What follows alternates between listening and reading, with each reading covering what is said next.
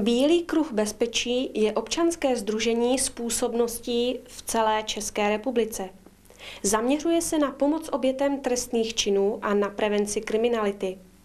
O možnosti zřízení poradny Bílého kruhu bezpečí v našem městě hovoříme s místostarostou panem Rudolfem Kasekrtem. Mohu říci, že s paní doktorkou Výzdalovou jsme odvezli v úterý projekt na ministerstvo vnitra, tam jsme ho předali, bylo konstatováno, že je velmi dobře zpracován.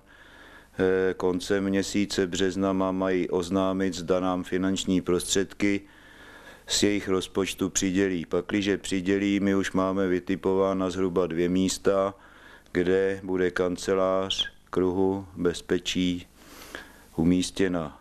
Takže koncem března budeme moudřejší a dostaneme-li finanční prostředky, které použijeme jak na výstavbu hřiště skateboardu, tak i na ostatní tři kapitoly, i na monitoring, sledování bezpečnosti a kriminality, i na místo kanceláře Bílého kruhu bezpečí bude místo.